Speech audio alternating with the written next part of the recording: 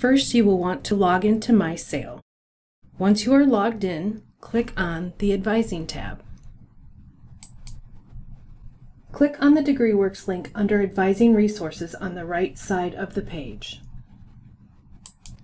If you know the student's Grizzly ID number, you can type it directly into the box under the student ID.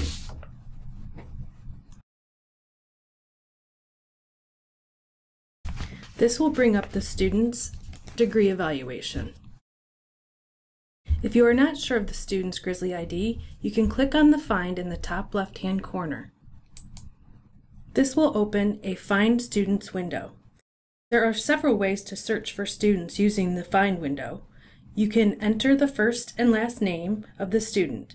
Please note that if you are unsure how to spell the student's name, you can use the at symbol as a wildcard, or search by first or last name only with additional search options such as major, minor, etc.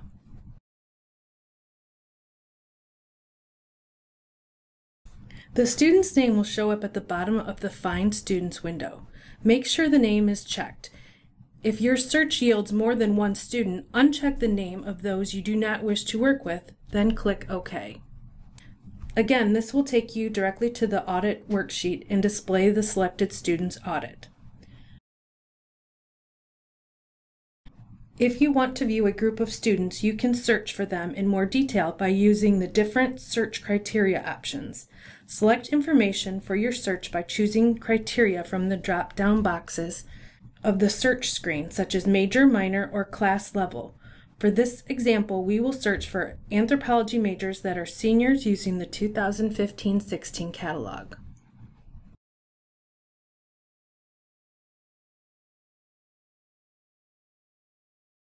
Once you've selected the criteria, you want to hit the search button. At the bottom of the Find Students window, you will see a list of students.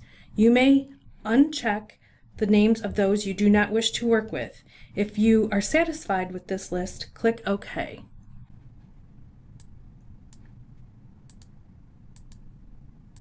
This will take you back to the audit worksheet.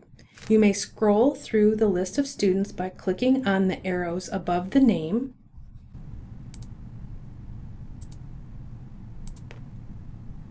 or by using the drop-down box. This completes the video training. Thank you.